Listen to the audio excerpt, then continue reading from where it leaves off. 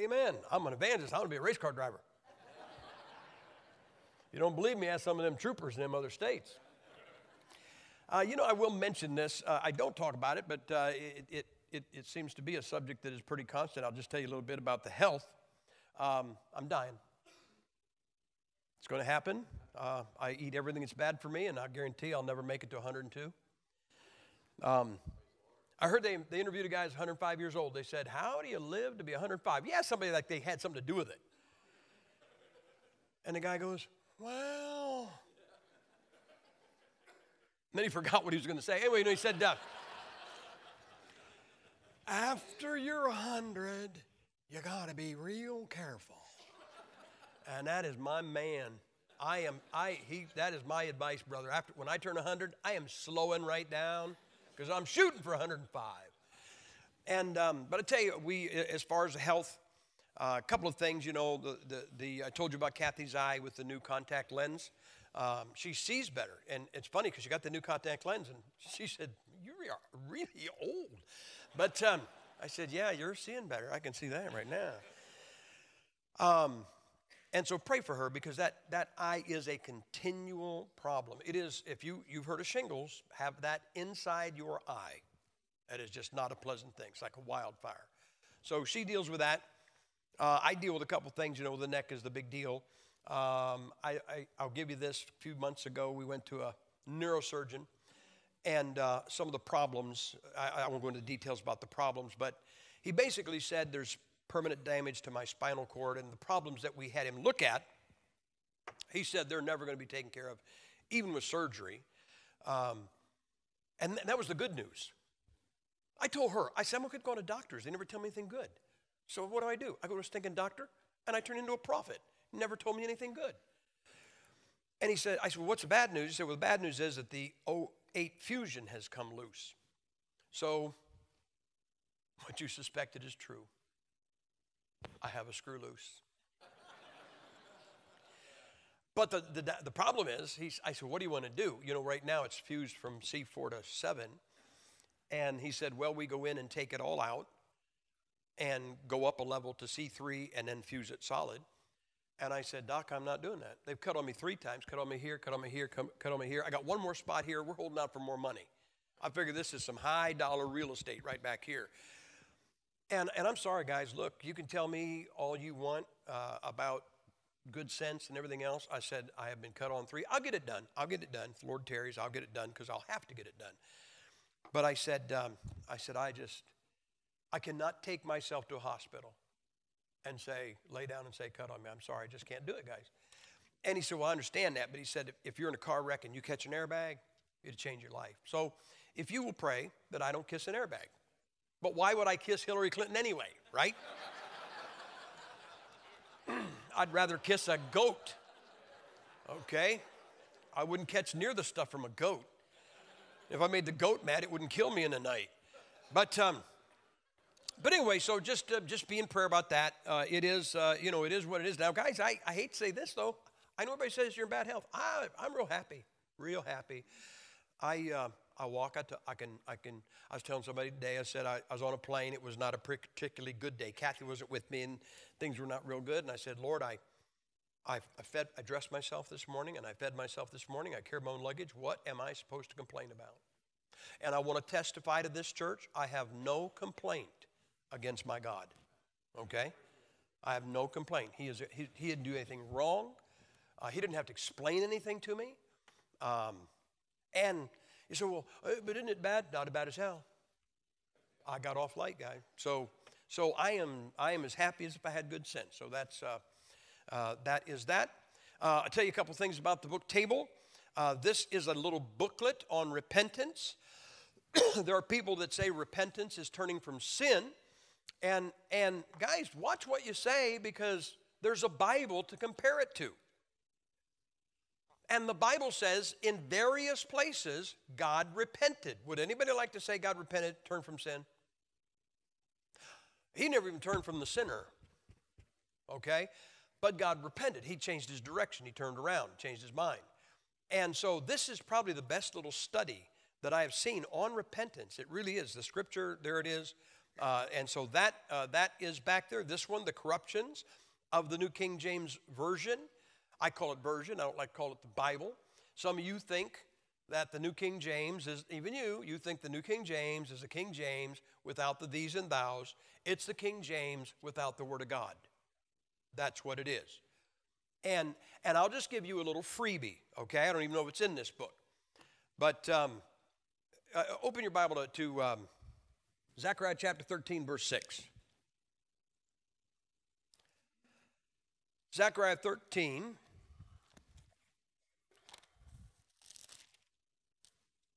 Have you ever had anybody smug? And they go, oh, which King James do you use? Do you use the 1611 or do you use the 13, the 1638 or the 1769? And I'm thinking, how many stitches would you like? Look what it says in Zechariah chapter 13, verse 6. And, um, and shall say unto him, What are these wounds in thine hands? Is that not a prophetic reference to the crucifixion of Jesus Christ? And I've got, I, when I, I, have two briefcases full of modern translations that when I drive, I take them with me to show what's wrong with them. But I have to have two King James, New King James. I have to have two New King James. I can't have one. You know why? Because the New, the King James, the New King James came out in 1982. And if you have a 1982 New King James Version, here's what it says. Uh, and one, one shall say to him, What are these wounds in your hands? So they changed thine to yours. I'm not for changing anything, but what I'm saying is the prophecy is still there, correct? What are these wounds in your hands? They're still there. That's in 1982. What they didn't tell you is that in 1994, they went through the New King James and made changes and never told you. And if you have a new New King James, it says in verse 6, What are these wounds between thine arms? Between your arms. And you just lost the prophetic reference to the, to the crucifixion of Jesus Christ. So if you're using New King James, which one are you using, the 1982 or the 1994? My 1994. You guys know this. King James Bible in 1611 came out with the, with the Apocrypha between the Testaments. They, did, they, they gave uh, the understandable history back there as the seven reasons why the King James translators did not accept the Apocrypha as, as scripture, but it was a history between the Testaments, at 400 silent years. And, um, and there are people trying to say, well, we should put it back in because it was there before. They're doing that because they want to get, get along with the Catholic Church. But my 1994 New King James has the Apocrypha in it. Now, now the, the New King James never had the Apocrypha originally. Why would they start putting it in now unless somebody is trying to yoke up with Rome? So, the New King James is not the King James Bible without the these and thous. It's not easier to read. So that's just a little spread to love. Um, this one is Catholic Myths Exposed. Sometimes you have to deal with Roman Catholics. You should learn about them. That is there. Kathy will be back there, and, uh, and she will take care of you, uh, and then, and then uh, we'll be gone. Um, we are leaving right after church because after I get done preaching this, I want to get out of town as fast as I can. But um, actually, some of you are getting the night off. You really are. Uh, you know, guys, you know, we go, you guys, you know, you don't pay attention to what we say because you're so hard hearted and you're so mean and you're so wicked. You know why sometimes you don't, you don't pay any attention to a preacher? Because nothing he's going to say applies. I'll give you an example. I was preaching at a multi preacher meeting, you know, conference, Bible conference, some years ago. And, uh, and, and at one service, I think it was during the mornings, they had three speakers. I wasn't one of them. and I was there, and the first guy got up and talked about how to secure a building. You know, a lot of churches, I think this church started in some, probably some rented building and then, you know, got a building. The building over was in Glendale. I remember that building we preached in, and now over here, built one. And if you're a pastor, anybody that's going to get up it was, and, and speak about how to secure a building, that guy's going to help you, right? Well, we haven't had a house for 32 years. Uh, what do you, I don't need to know how to secure a building. So I didn't need that one. And then the second guy got up and talked about uh, how to get a second man. I'm not even looking for him a first, actually. Okay? I'm not trans nothing. I had this guy call me one time, this pastor, when I have a meeting. He said, No, I'm bivocational. So I'm preaching for you. I didn't pre buy nothing. but, um, and so this guy's talking about how to, how to get an assistant. Guys, guys, I don't need an assistant pastor. So that one didn't apply. And the third guy got up and talked about how to raise your children. Well, our kids were all grown. They're all grown now and in prison. Answers the famous question It's 11 o'clock. Do you know where your children are? Cell block D. I said that one time, some, I almost said stupid woman. I won't say that. Some Democratic woman came up and said, Are your boys really in prison?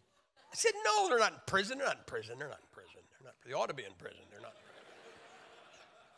So, okay, so, and whenever I hear people preaching about how to raise your kids, I would just like to go kill myself. Because all I hear is, oh, that's why I messed up. I mean, they're gone now, pal. They've robbed the bank. It's too late. So, what I'm saying is that the guy got up how to secure a building, how to get an assistant pastor, uh, how to raise your kids. Nothing that they said applied to me, okay? I wasn't, I wasn't that I was going to tune them out. And what I'm going to say tonight is not going to apply to some of you. No, you can't leave. Uh, you already took the offering? Yeah, you can leave. Yeah, you can. Of course, if you gave and it doesn't apply, you may as well stay and get your money's worth. But um, because I am going to talk to you. Now, uh, let me say this I used to paint cars.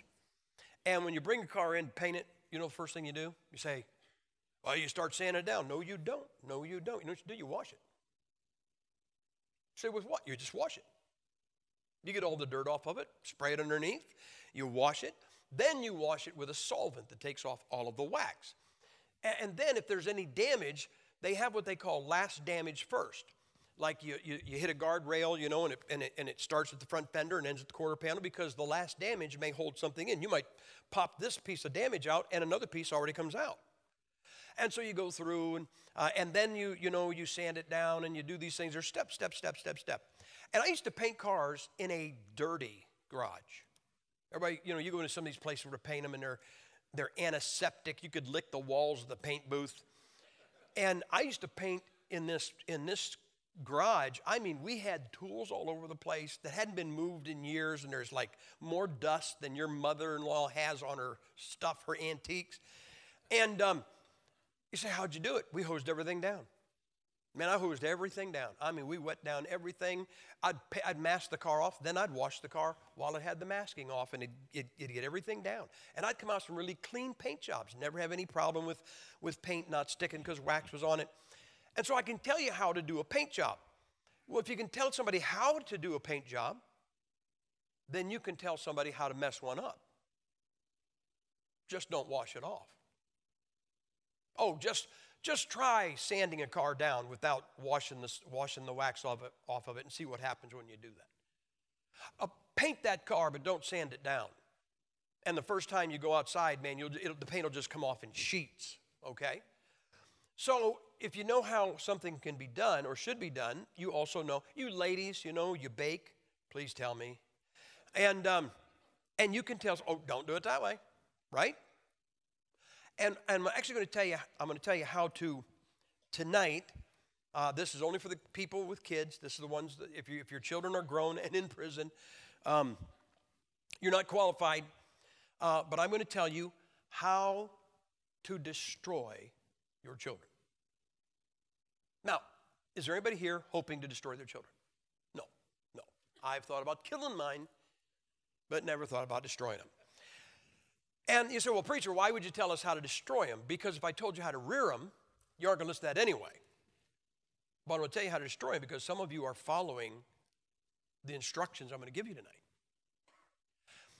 Could I, before I begin, because somebody's going to be angry with me when I'm done, why do you say you're a Bible believer and overrule Bible rules for raising your children with psychology?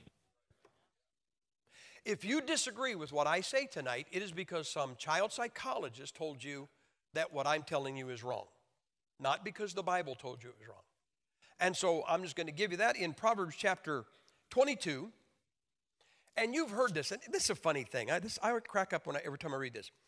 Uh, chapter 22, verse 6 Train up a child in the way he should go, and when he is old, he will not depart from it. Let's bow our heads, let's talk to the Lord. Father, it is good to be saved, and it's good to be in church. Some of these folks might be thinking right now it's not so good to be in church, but God, it's good to be in church. And God, I am glad, Lord, Lord, you, you told us how to get to heaven through this book, but you also told us how to live while we're down here. And really, God, I don't believe there is a parent. Well, maybe I'm wrong, but I don't think there's a parent in here that when they have a child, they aren't concerned about wanting to raise that child properly. And you gave us a book that even tells us how to do that. So, what a wonderful book. And again, God, we have no problem with you or your book. Lord, it is those um, outsiders, it is the philosophies and the psychologies and, and the experts that, that say they know more than you and more than the book that have gotten more than a foothold in our churches. And I pray, God, that you will speak to the hearts of each individual. And God, there might be some parents get angry tonight. I don't care about that. What I'm asking you tonight is save their children. I don't just mean their souls, but save them from some of the stupid things that their parents are doing. In Jesus Christ's name I pray. Amen. Now, here's why I always chuckle when I read the verse. You know that verse. Train up a child in the way he should go, and when he is old, he'll not depart from it. How many times have you heard somebody quote that and go, I don't understand it? Our kids are in the world. Bible says, train up a child in the way he should go, and when he's old, not depart from it. And why are our kids in the world? And then somebody will come back and say, well, that's because when they're old. So when they're old, they'll come back. You know what I've never heard? I have never heard one person say, maybe I didn't train them right. Isn't it funny how we always think the weakness of that verse is where God let it down? We, none of you ever think you did a bad job raising the kid. It's always, well, you know, well, child. I had them in church, and why aren't they in church today? Well, that book said they wouldn't depart. Who said you raised them right? We all have this supreme confidence that I do everything right. And so, guys, I'm going to talk to you about, about how to destroy your children. Uh, the best way, the first way. Let me ask you this before I read the verse. How many of you have children? They are not saved yet. You know, babies, whatever the case may be, uh, and you're, or you're, you're not sure of them, but you sure want them to get saved. Let me see your hands. Anybody like that? Oh, come on, you can put them up. I'm not taking an offering. All right. A seven year old girl raised her hand. Anyway, um, So you say, well, I want them to get saved early, so we have them in church, we have them in Sunday school, and we give them the gospel, and we read the Bible to them. You know, there's nothing that you just said, or nothing that I just said guarantees their salvation. What if I told you you could guarantee their salvation? Would you do it?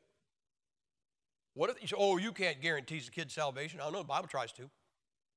Look what it says in chapter 23 and verse 14. It is the only verse that makes any inference to their eternity. And it says this Oh, look at verse uh, 13. Withhold not correction from the child. Uh, if thou beatest him with the rod, he shall not die. You might need to know that. And then in 14, it says this Thou shalt beat him with the rod and shalt deliver his soul from hell. If you want to destroy your kid, don't spank him. Just don't spank him. Now, let me give you some advice about spanking. Um, I'm not, I'm not, you know, I say, oh, don't, don't hit him with your hand because this is something that you love with. Oh, come on, that's philosophy. I think you ought to spank him with a rod because the Bible says a rod. Um, I, I, I just marvel when I see these people, they're going to spank their kid and they bring out a two by four. And they got holes drilled on it and flames painted on it. And oh, please, let's paint a scripture on it. And then you, you say, come out of them, you demon. you know what I recommend? Now, now, look what you, here's what you got. You say, oh, you can't spank your children. You can all spank your children. You'd be stupid to do it in a public restaurant now. But you can all spank your children, okay? I, we were with a young couple one time, and um, kids was acting up. And this mother looks over, she says, Do you want a timeout? And the kid went, I thought, well, that's a strange reaction.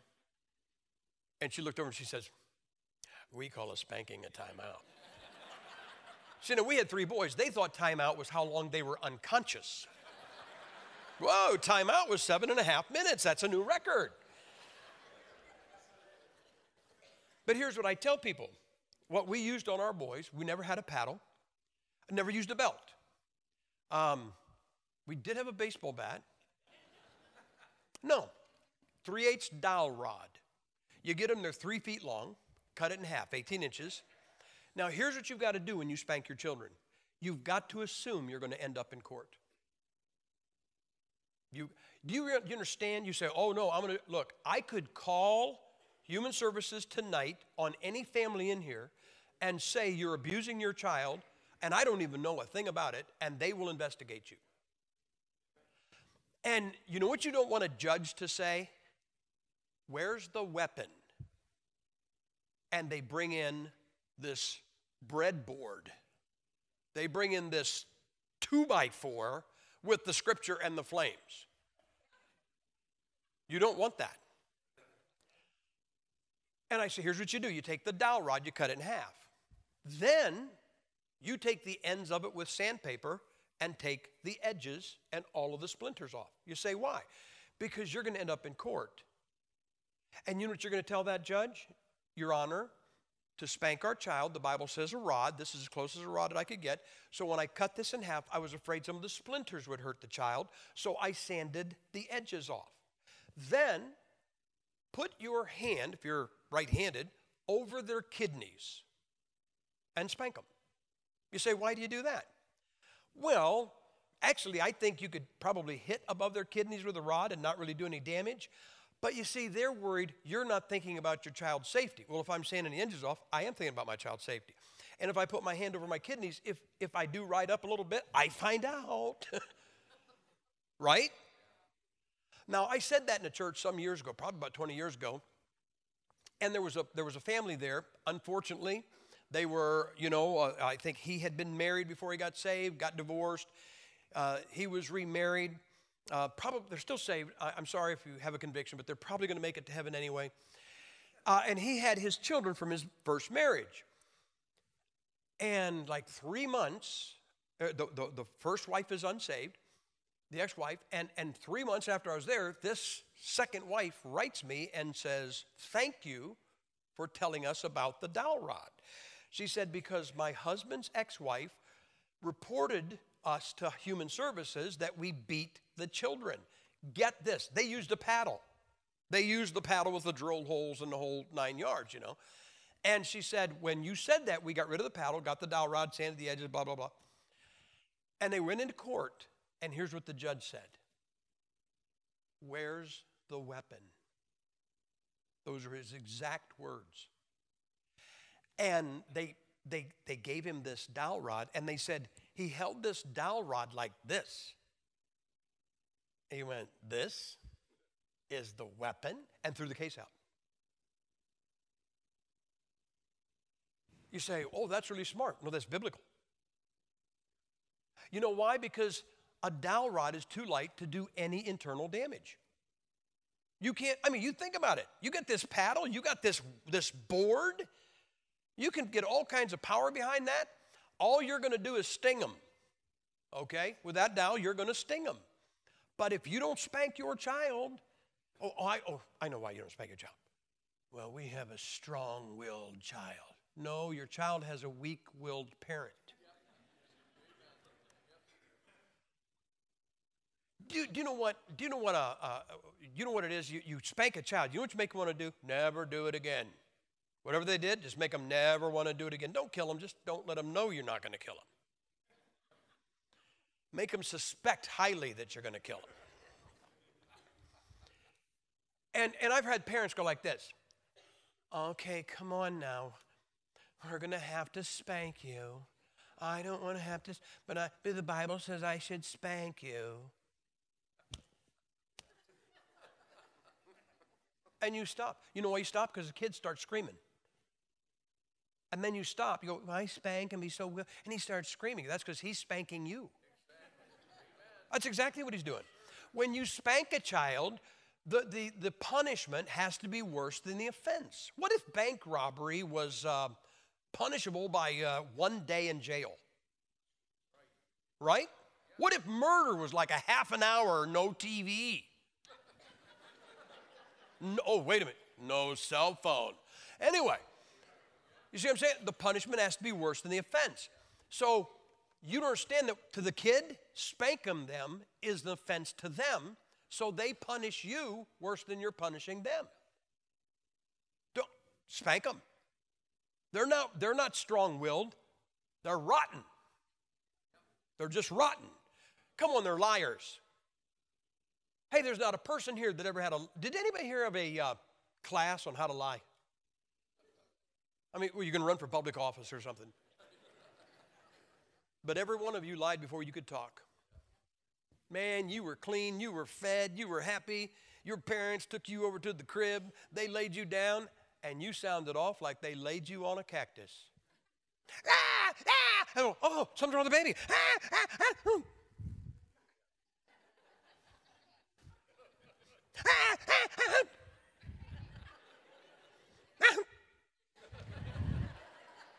You know, you kind of check. Everything's okay. You know, you know what some kids do in the morning? You may not know this. You've seen it in your children. You just didn't know what they're. The kids are trying to communicate, can't even talk. When they get up in the morning, we call it a tune up, where they're just frantic. It is like, ah, ah, ah, and they're into everything. You know what they're saying? spank me, please, spank me. Because you spank them, and they, and they just calm down and go, oh, thanks. I needed that. You say, oh, you're making a joke. Oh, I'm not. Man, I mean, our kids would get up and, and they would start running around and they were just like, ah, ah, and I go, oh, I know what they need. I'm a loving father. And I spank them. And they would just go like, oh man, I'm glad I got that over with. I've had people say this well, you know, if you spank them, you'll frustrate them. Well, that may be true. But here's how I look at this if I spank them, I'm going to frustrate them. If I don't spank them, I'm going to frustrate me. And at their age, they can deal with frustration way better than me. Isn't that true? I mean, if all the kid has gotten his life is a little frustration, he'll live through it. You need to spank your children. That is the only place where it says you beat them with the rod, you'll deliver their soul from hell. And you know why you're upset with what I me what I me reading that? Because what some expert told you. Because you remember what an X and a spurt is. An X is a has been, and a spurt is a drip under pressure. and so some guy gets up and philosophizes on how to raise kids. Could I, could, could I just give you a thought? Because you probably haven't had one since you put down the remote. Wasn't it Dr. Spock who said that spanking makes kids bad, so if we don't spank them, they'll be better? Where are his children? They're rioting in the streets. That's who Antifa is. They're burning the country down. We have, a, we have several generations who have been its unrestricted flesh, and they will kill you. You know why? Because somebody didn't beat them with a rock. Well, I just don't like that word beat. Well, change you. Because the book doesn't need changed. Well, I might put a bruise on. The Bible says the blueness of a wound cleanses the way followed. Oh, brother. I'm not saying you ought, to, you, ought to, you ought to bruise them, but sometimes it happens. I don't, I don't say you should try to bruise your children, but I mean, come on. Have you ever had a bruise? You ever had a broken leg? Want to make a choice? I'd take a bruise. I'll take a bruise to, you know, a, a root canal. So it says there, look, withhold not correction from the child. If thou beatest him with a rod, he shall not die. And here's what you, some of you young parents do. You start spanking your kid, and this kid sounds off like, like somebody's killing him. You know why? Because he's punishing you. You say, what do I do? Tell him, I'm going to spank you till you stop crying. You'd be shocked how they can get control over their emotions. They will stop it right now. All right? And, and children need to be spanked. And I'm telling you, we have now got a generation, we've probably got about three generations, maybe four, that have grown up without being spanked. And here's the thing I know the world is stupid and I know the world is lost, so the world looks to experts and doctors and psychologists and, and uh, psychiatrists, but I am seeing it in our churches. Young families where the children are not spanked. Can I tell you where other another place where children are not spanked? I preach all around the world. I preach in third world countries. I preach in heathen countries. Heathen never spank their children. I go to New Guinea, those heathen those, those unsaved New Guinea people, those heathens, they never spank their children. You go to a heathen nation, they never spank the kids. They don't care about the kids. They turn the kid loose in the day, and if he makes it home that night, so what? Who cares? So I got news for you, bucko. You go, well, I think we ought to be more civilized than spanking. Spanking is what brings civilization in. Not spanking is heathen. Not spanking is, is, is anti, will, will destroy civilization. It's uncivilized. So if you want to destroy your kid, don't spank them.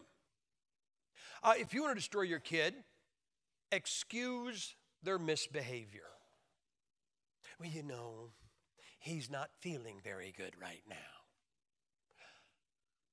You what my kids found out? Spanking hurts just as bad when they're not feeling good. Now, look, let me ask you a question. Have you ever just not felt good? Okay, you're not feeling good. I mean, you just got one, you just don't feel good. Do you want that day? I don't feel good today. I think I'll go slam my thumb with a hammer. Do you want to add to your discomfort when you're not feeling good? And don't mess around, kid. Well, he's just not feeling good. Spank him. Oh, well, he, he's tired. Oh, we can keep him up just a few more seconds.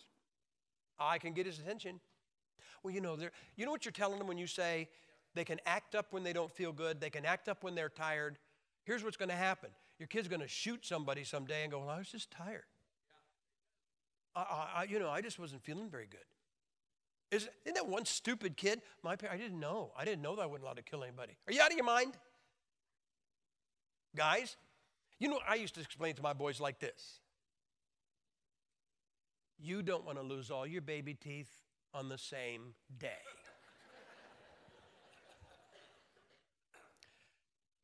You say, how'd it work? They're all out of the house. None of them have teeth. We even got them their first apartment. I think they were all eight. But you excuse your children because they're tired, because they're sick. You know what they need to do? They need to learn to control their flesh. Some of you young people, some of you young parents, you were not spanked. And you're having a fit with your flesh. And so, you know what you're doing? You're griping about the preacher not making the church more worldly to appeal to your uncontrolled flesh. Somebody needed to smack you upside the head. Say, that's not in the Bible. I know every now and then, it sure helps. There's some folks, either they've been hit in the head not enough or too much. But some of you, you were never restricted, you were never spanked. You know, well, my parents love me. Hey, that book says if you don't spank your child, you don't love them. Oh, don't you tell me. I'm telling you. Because I'm leaving right after service. but I am telling you that. And I don't care what you say. Because that book says if you don't spank them, you don't love them. And that book is never wrong. That is as much gospel, that is as much scripture as for whosoever shall call upon him, Lord, shall be saved. Is it not? and you're the one that thumps your chest about being a Bible believer, and then when it comes to your children, you turn them loose like a pack of dogs and ignore the very book you say you believe. Don't excuse their misbehavior. A number of years ago, I maybe maybe it's even 30 years ago, I was in evangelism. You know, we've been on about 32, 33 years. I can't remember what it is now. And, and um, Kathy wasn't with me, and I was I was in a major city and in that church, there was a university professor. There was a university uh, in the area, and, uh, and, the, and the church had a university professor. And I went, they took me to his house on Sunday afternoon to, to um, have dinner. Now, I, I knew when I walked in they must be rich because they had two porcelain elephants. Oh, when you get two porcelain elephants, that's big bucks. They had a cockatoo. Say, what is that? Think of a chicken with a hat on. they're, they're giving me the tour of the house. I'm serious. Now, you're, you're going to think I didn't say this. I said this.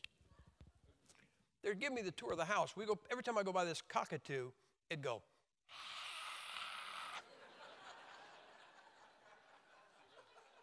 And I let the guy that owned the house get a few steps from me. And I backed up and I looked at Bert. I said, Shut up, Bert. I said, You're just a chicken with a hat on. I'm a Baptist preacher. I know to do a chicken. I'll turn you into a dinner in a half an hour. I Bert went, And this family had three children. They had two teenagers and a four year old. The four year old was, was adopted. And they were doing the best they could to raise Jack the Ripper, too. Now, I'm going to tell you something. You invite me over to your house. If your kid's a brat, I'm not going to correct him. I will watch your children set fire to your curtains as long as I can get out of the house. Listen, if you're stupid enough to raise a monster, I don't care if he burns your house down, but I want to be able to get out. And this kid was a monster. And he would just scream. And, and he, was, he would get in your face. So we're having dinner, and I'm at one end of the table, and the monster is right next to me here. Mom's here. Dad is down there at the other end of the aircraft carrier because he wants to get away from the little monster as far as he can. And I'm putting up with this kid, I'm being nice. I'm really, be, you would be surprised how nice I can be. And then I wake up. But anyway, um, and then this, the, the mother says, uh, Now, how many children do you have? I said, I have three boys. And when I said that, this kid, it was like the lasers came on. It's like the red came in his eyes and the blood began to drip. And he looks up and he goes, I hate those three boys. Now, I really had enough of this boy at that time.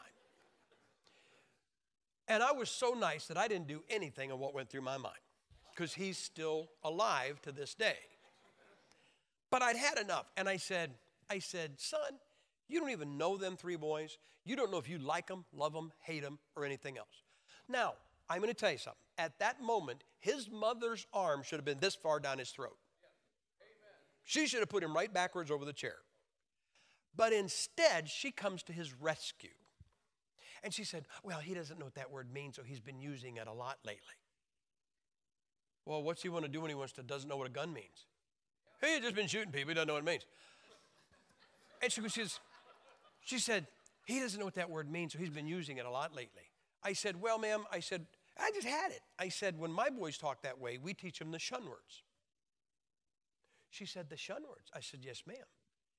Concussion, laceration, traction, abusion, abrasion. Yeah. You said you didn't. Oh, yes, I did. Say, what happened? She got the monster away from me. She kept, I never saw the kid the rest of the afternoon. They locked him in his cell. But I'm telling you, you parents, you all justify your kids wrong. And the crazy thing is, you won't justify anybody else's kids wrong. But you justify their misbehavior, and they're going to misbehave every time and say that very thing. Well, I was tired today, so I set the house on fire. I wasn't feeling very good, so I just ran over somebody today with my car. That's what you do. I was bullied. You ever hear that one? I was bullied, so I went and shot five kids at my school. Oh, poor baby. if you want to destroy your kid, excuse their misbehavior. If you want to destroy your children, convince them that they have a value they do not have. You're a little champion. Of what? the, the biggest wet spot on the sheet in the morning?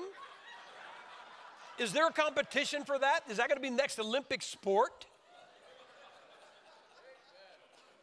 I mean, really, what does a kid, you know, well, you, you're a champion. Really? Well, that was the quarterback for Alabama just two days ago. Isn't that a champion? Isn't a champion a winner? What's he won? Well, we just think he's a champion. Well, that's because you're stupid. So you afflict your child with your stupidity. He's not a champion. You say, well, what should I tell him? Tell him to go out and be something. Tell him to go out and paint a garage, mow somebody's grass. Say, will that make him a champion? No, but at least make him useful. But maybe he'll, he'll, he'll do something, he'll save somebody's life. Then he can be a hero. But I got news for you. You will decide what your value is going to be. You know, you're not great because your parents think you're great. Get this t shirt on, it's all about me. It's not about you. I saw this little girl wearing a t shirt one time and said, Let's focus on me. I thought, Let's not. and we've got an entire two or three generations, and, they, and, and they've all got the t shirt on under their clothes that says, It's all about me and I'm the most important, and let's focus on me. And they all think it's about them because they all think they have a value. They don't have a value. I mean, the only value, I don't mean it's bad, guys. Grind them up for dog food. That's the only value they have. I'm not saying we should do that. I've seen a few that we should. But the fact is, guys, they don't, you convince them they're a champion, they're not a champion. What are they a champion at? This participation trophy. Yeah, why didn't Georgia get one of those? I just saw this. I can just, did you imagine, could you imagine that, that, that couple of days ago when Alabama won and all the Georgia guys going, they didn't give us a participation trophy. We at least showed up. Everybody goes, oh, shut up, get on the bus, you bunch of babies. Your kid participated and lost. They're not a champion, they're a loser. tell them that one once. Oh, I couldn't tell them that. That would hurt them. Yeah, we don't want to give them reality. Guys, I played Little League ball when I was a kid. I played, you are looking at a guy that played second base without a glove. So that's a pretty tough job. Easy. My coach just took me out to where second base belonged and he said, lay down here. I played second base. I've hated spikes ever since. My little league career, I hit the ball once. It rolled to the pitcher. That was the day I knew I was called to preach. I wasn't even saved, and I knew I was called to do something other than be a pro ball player. But what I'm telling you guys is you guys, well, our, our child is a champion. Your child's not a champion. No, nobody's children are champions. Well, they're worth something. No, they're not. Well, I have to tell them they're worth something. You know, I, I was listening to a child psychologist one time in a TV interview, and he was talking about Generation Y. Now, I thought Generation X was bad, but kind of like Generation Y is Generation X with their brains beat out. And here's what he said They're the most inept generation we've ever had. They can't do anything. If the computer's down, they're really helpless. But he said, now this what a child psychologist said, they have the highest self-esteem of any generation we've ever had. So they're good at nothing and proud of it. Here's what he said. This is a child psychologist. You want a child psychologist? He said, and they all think that someday there's going to be a TV, a, a, a, a um, reality TV program about their life. And I thought, oh, already was. Yeah, when I was a kid, came on 11 o'clock at night. I mean, they sang the national anthem, and the little test pattern came on, and for two hours, went, ooh. You said, well, that's boring. That's their life. Somebody said uh, a seven year old wrote a book. You say, well, that's stupid. No, what was stupid was people bought it. What is a seven year old going to tell you? How, how to work the sandbox? I mean, there was a seven year old wrote a book and a bunch of people went out and bought it. That's the only thing dumber than the seven year old. Well, there's a nine year old, had his own website. Yeah, that's a tough one. Guys, don't, don't tell them they have a value when they don't have a value. You know what you tell them? Go work. You know what you need to tell your children? You are not the most important person in the room. Hold a door open for somebody. You know, every now and then, I I, will be at a church and a little kid will open the door, hold a door for somebody. I'll say, Kid, come here. I said, I got some good news for you. I said, You just held that door open, right? I said, Yeah. He said, Yeah. I said, Nobody can ever tell you you're good for nothing. I said, You can always hold a door open. You say, Oh, that's stupid. No, it's not. I mean, teach them that other people are more important than them. How many of you, you don't have to raise your hands, but I am telling you, I am talking to most of the older people in this room, you were taught that, that, that everybody else was more important than you. Now we've got generations that have been told they're more important than everybody else. And you know what they want you to do? They want you other people to die. I heard a guy say this one time. It was, it was great wisdom, scary wisdom, but it was great wisdom. He said, We will. There's no doubt about it. We will have euthanasia in this country someday. I said, then there'll be youth in America. Send them back to Asia. But, um, but he said, we will have euthanasia in this country because there's a generation that's going to grow up and it's all about them. And they're going to they're going to they're going to start. Do you understand that the Antifa generation will someday be in, be in Congress? And he said they will look at Social Security and they'll say there's enough for us and there's enough for them old people, but there's not enough for both of us, and they're going to be the voting. And they're going to vote you and me dead. Because they want the money, because they deserve it. They don't deserve it. Guys, don't tell your children they have a value. Oh, that's the best picture. Look, I mean, look, you, could, you can make a big deal out of your kid's picture, okay? But don't tell everybody else they should. It looks like he drooled on it. Don't, unless you want to destroy your children, make everything easy on them. We had a generation, everybody, no, they don't want anything to be tough on them. You know, I am not big on this. I don't have gone this, but I did read it a little thing one time. You ever watch a chick? well, I better stop there. Anyway, no, a baby chick. hey, baby. Uh, did you ever watch a chicken coming out of an egg? That kind of chick. And you ever watch it, you know, you know, you see it inside there and, and it pokes a little crack in the shell and it keeps, and, and you ever, I mean, they really fight. And, and they don't just crack it open and get out. Man, like they, they cut a little hole and then they're in there, they put their little beak out, they go, and, and, then they, you know, they beat a little hole, they hang their head, they're going, would somebody give me a hand here? Oh, no. And you're thinking, why don't I just break that open? And they say that if you don't let that chick fight its way out of the shell, it does not have the strength to live. If you break the shell for it, it will not survive. It has got to have that struggle.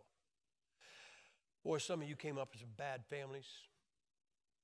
Some of you came up some hard times. Some of you came up poor. Some of you came up on bad side of town. Some of you came up with parents that they didn't worry at all about using a belt or a, or a piece of wood or anything else.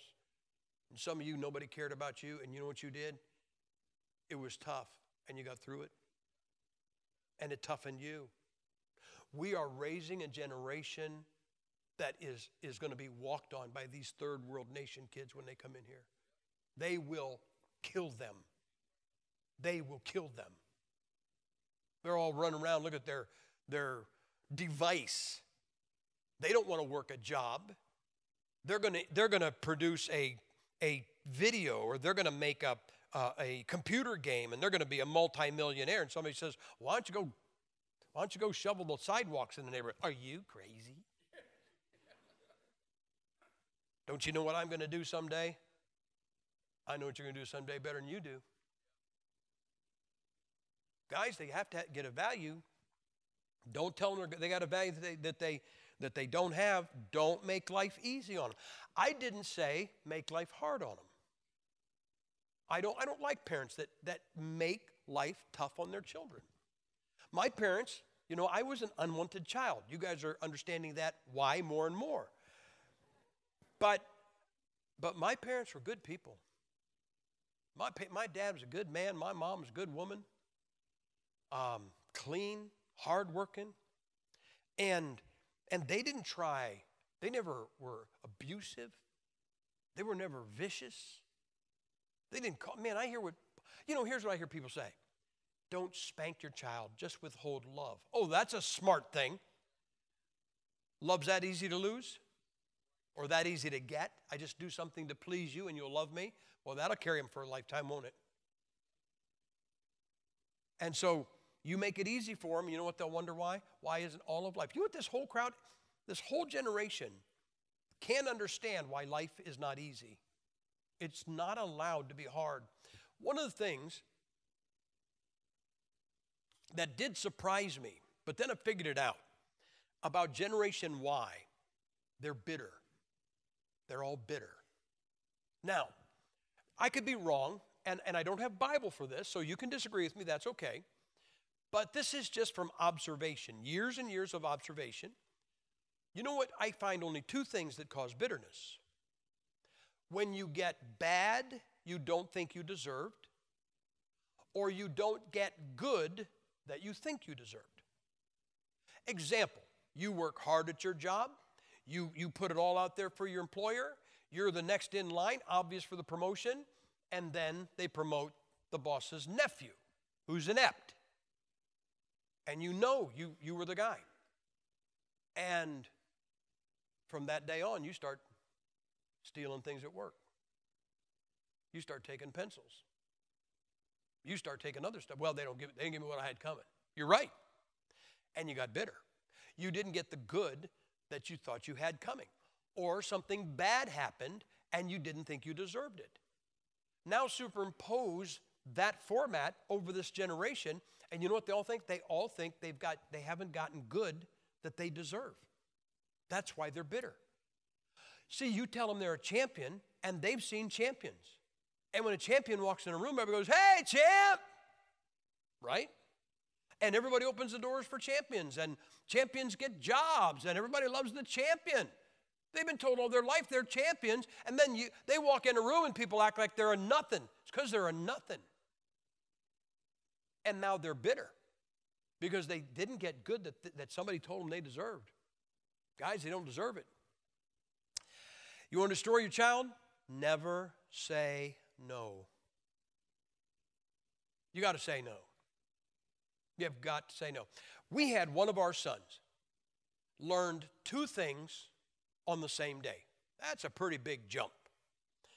He learned to crawl and he learned the word no on the same day. I think he was about 15 years old. And here's what happened. As soon as he found out he could, could crawl, he wanted to be a private investigator. And so he's crawling over here, and he's tugging on this, and he's pulling on this, and he's, he's pulling this over, and he's messing with my ashtrays. And, um, and he goes to grab something he shouldn't grab, and I went, no. And he went, he said he was being defiant. Oh, he didn't know what no meant. But he learned right there. You know, for the longest time, my boys thought no had something to do with lightning. Because every time they heard no, it struck right after that. and so I said no, and he grabbed it anyway, and I beat him with a rod. Later that afternoon, he crawled over, he went to grab a hold of something. I said no. He went, not that interested.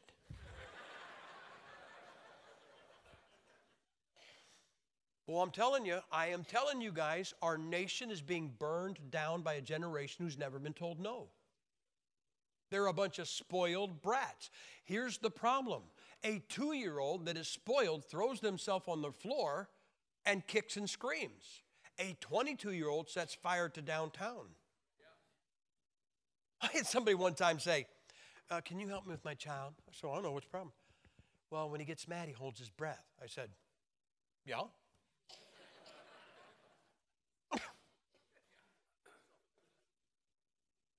Yeah? Well, he holds his breath. I said, so, so what happens? Did he die? No. What happened? He breathes. In fact, if you want, I can show you how to get him to inhale real fast. Okay? As you, I, there ain't the kid on the ground. Listen, there ain't a three year old in this country I'm afraid of unless he just ran into Preakness. And I can make any three year old gasp. I can make them breathe.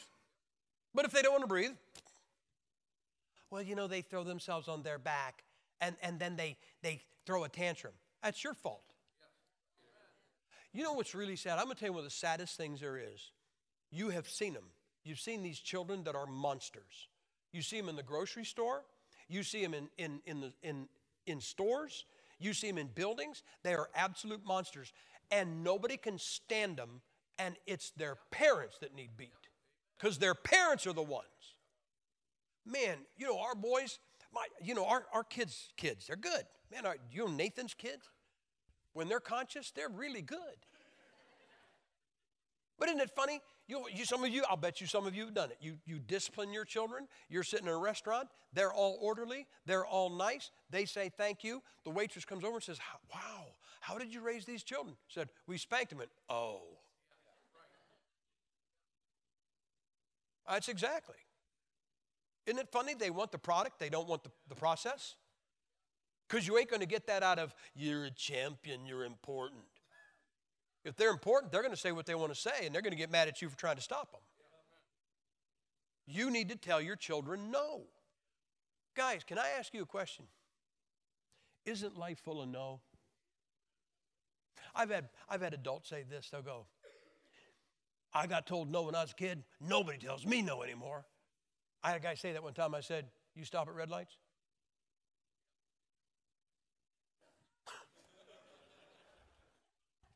Isn't a red light? No. Brother, everybody gets told no. Let me ask you something. Anybody here ever prayed and God distinctly said no? Life is full of no. It, it happens, guys. And sometimes, and, and look, let me ask you this. Some of you, years ago, God said no. You might have been mad at God or brokenhearted or upset or sad. Now you look back and think that was the best thing you ever did. You saved me from me. Because I would have ruined my life right there if you'd have said yes. You were smarter than me. No kidding. Guys, you're supposed to be smarter than your kids. And then you listen to some psychologists and then you lose your mind. You want to destroy your children? Accept their sin. When they go out and live ungodly, you accept their sin. Oh, i am so sick of mothers. And they come up and go, you know, our son's gay. And, and we know it's wrong, but we love him. And so we're just going to, you don't love him. You know who you love? Yourself. You love yourself because that book would, t- you know what, you, what some mothers need to do? Smack that kid across the mouth and say, Get off my porch until you drop your voice about three octaves and can say your S's properly. and maybe that would motivate that kid to get squared away. And all of you, how many of you parents think some things are really terrible for kids to do until your kid does it? And then all of a sudden, we just need to have love. We just need to have grace. No, no. You don't love them and you don't love Jesus Christ. You love yourself. You know what you need to do? Say, if you're going to live, I know, I know some of you, your kids are going to grow up, they're going to get out of church, they're not going to live for God. But you know the difference between that and living like hell itself? There are people out there living like hell itself. And if your kid chooses that path, you know what you need to say? Come back when you get squared away. Come back when you get right, or don't come back. But the thought of that just destroys some of you parents. Well, I'll never see him again. I'm sorry. But you know what they'll do? They'll come home and they'll, they'll corrupt their younger brothers and sisters. They'll molest their cousins because you said you love them. You don't love them. You love yourself. You don't like, you don't like the price of their sin. Guys, you, you accept their sin, you excuse their sin. Well, we love them. You don't love them. You love you. You want to destroy your child? Don't spank them. Excuse their misbehavior. Convince them they have a value they do not have. Make everything easy on them. Don't say, never say no to them and accept their sin. I will guarantee you, you do that, you'll destroy your kid. And everything I just told you is what the world will tell you to do with your child. I, I don't understand it. What I don't understand is that in our churches, mothers are raising their children according to how some psychologist overruled their Bible. There are mothers who say they believe the King James Bible, and when that book says, beat your kid with a rod, he'll deliver his soul from hell, they look at that, that verse with contempt. And then they jump on the old man if he spanks the kid. This world, our country is now run by overbearing women and effeminate men. Now, lady, lady, if I just made you mad, don't come down and tell me after this because I'll know. and don't send that worm of a husband down to tell me because I'll know. All of this stuff. You know, you know what? Women get offended. No, no offense, ladies. Hmm. Anyway, but you know, men used to never get offended. I mean, two guys, they, they'd argue about something. I can't get over it when a man walks up and says, You said something that offended me. Change your nylons. I mean, come on. They offended me. Men never, that never used to bother a man. Now men are acting like women. He said, Well, you don't think there's a difference? You don't think there's a difference? Don't come around me. Hey, I'm going to help you with something. You know this transgender bathroom thing? Men, here's what I'm going to do I'm going to give you men some advice. If you're ever in a men's restroom and a woman walks in, knock her out. knock her right out. And when she comes to, she's going to say, But I was identifying as a man. And you just say, Yeah, but that day I was identifying as a woman, and I don't want a man in my restroom.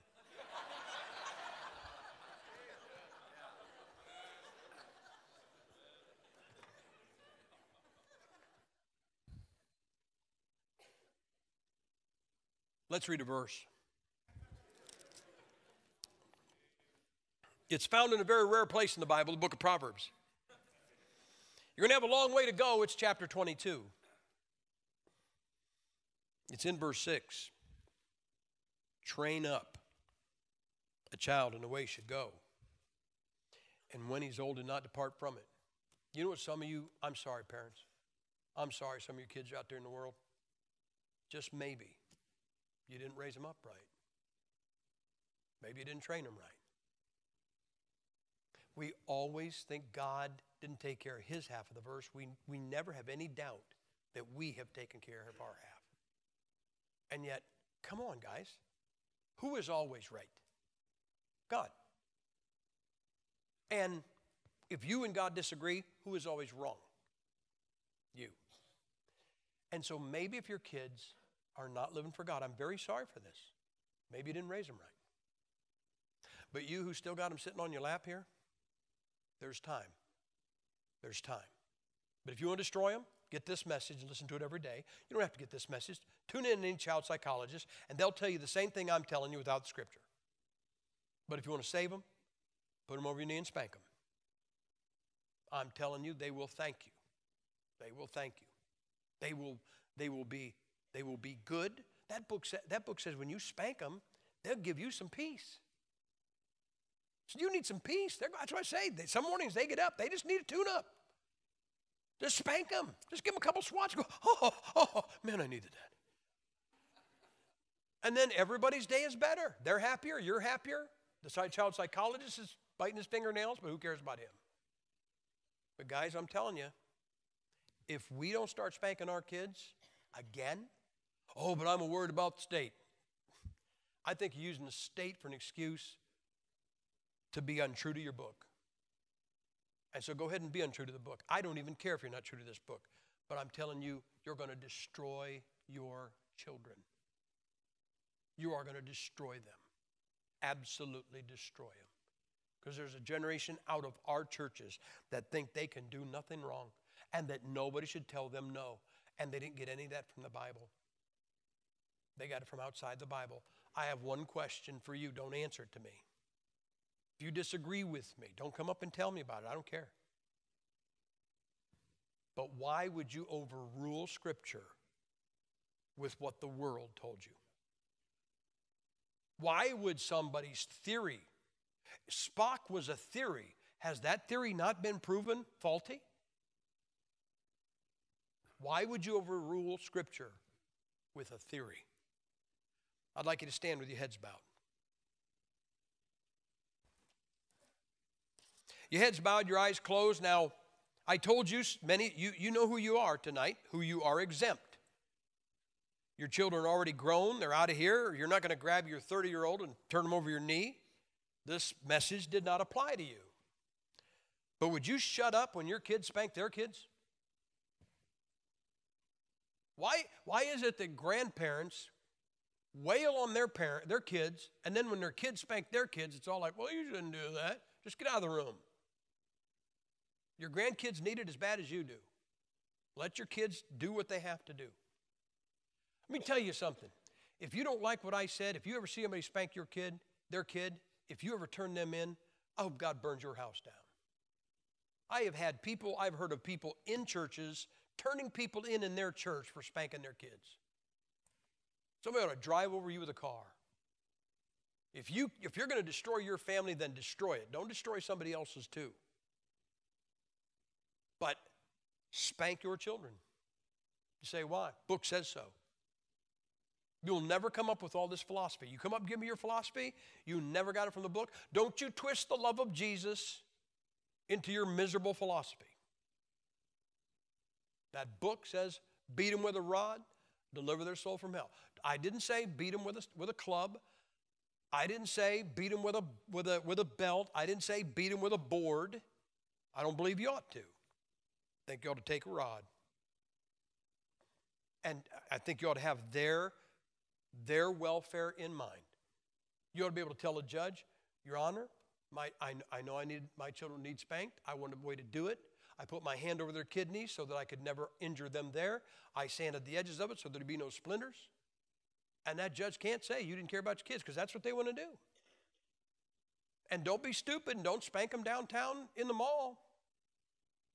But they need spanked.